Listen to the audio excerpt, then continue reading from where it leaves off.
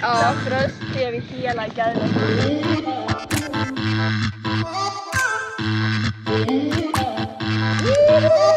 Kom igen!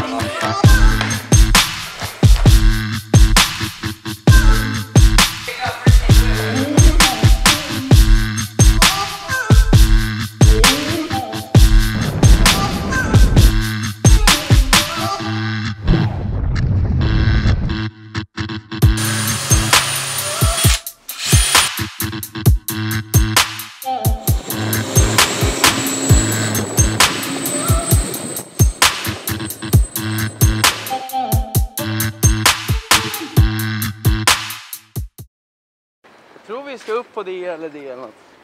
Man mår bra.